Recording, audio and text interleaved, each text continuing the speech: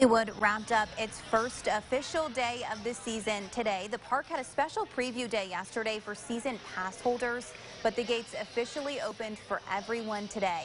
And if you're planning a trip to Dollywood, we've got links for all the information you need, whether that's ticket prices, the hours the park is open, or how to go ahead and make reservations over on our new Six Things to Go section. That's on WATE.com.